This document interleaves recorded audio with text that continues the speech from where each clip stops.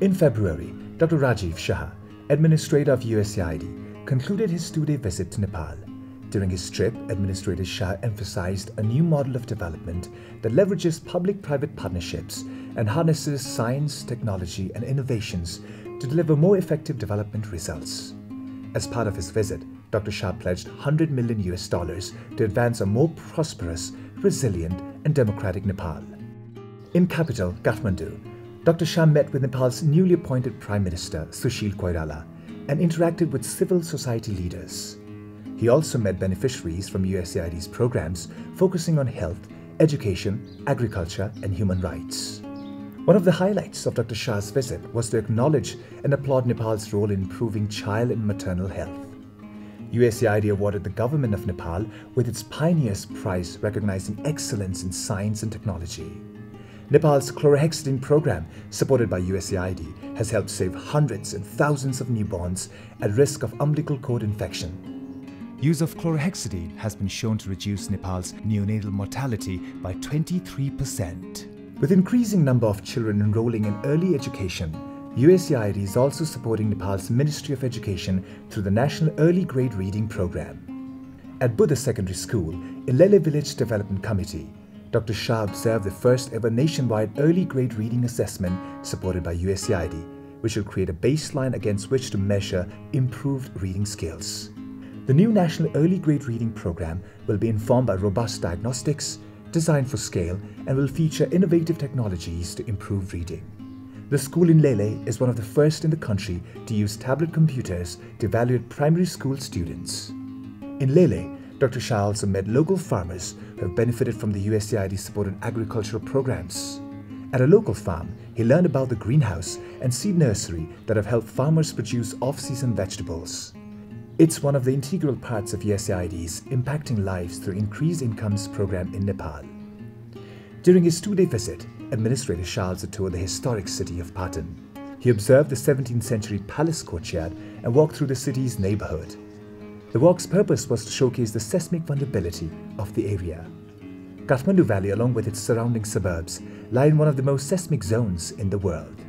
In Patan, Dr. Shah also observed the retrofitted building of Shree Padma Higher Secondary School. USAID has been instrumental in supporting various programs targeted towards safer construction of buildings, school safety education, as well as safety and evacuation drills. At the International Center for Integrated Mountain Development, Dr. Shah met with Nepal's government officials to find out more about the country's position on climate change. He was introduced to the SERVIR Himalaya project funded by USAID and NASA and its satellite-based observations that help monitor forest fires, agriculture, land cover change, and glacial cover. In a panel discussion, Dr. Shah stressed on the importance of a science-based development policy to reduce poverty. Administrator Shah's Nepal visit highlighted the post-election period as a new day for Nepal in which the new government has an opportunity to build upon the political stability resulting from the November 2013 elections to promote economic growth by harnessing innovation and private sector investment. The administrator emphasized key reforms needed to signal to the private sector that Nepal is open for business, particularly in the agriculture and energy sectors, which have significant potential to drive economic growth and reduce extreme poverty in Nepal. Speaking at the National Economic Summit, as he concluded his trip, Dr. Shah noted the long standing partnership between the US and the government of Nepal and reinforced the need for stronger political leadership and policy reforms to drive investment where it will have the biggest impact on extreme poverty. Six decades ago, Nepal and the United States first came together to build a new future for all Nepalis.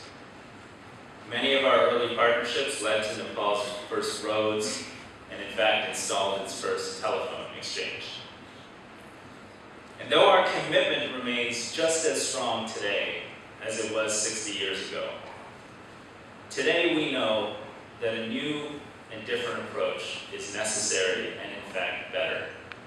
An approach that brings public and private partners together to build out modern infrastructure in energy, telecommunications, tourism, and agriculture can help serve as the basis of Nepal's future. And an approach that continues to build on the gains we've made, but insists on more data and accountability and results in health and education can continue to improve opportunities for the next generation of Nepal's leaders. We look forward to working with you. We know now is a special time. We wish you the best of luck and the most success. And together, we believe Nepal can be an example of what's possible in the next 10 to 15 years as we work around the world to answer President Obama's call to end extreme poverty as we know it. Thank you.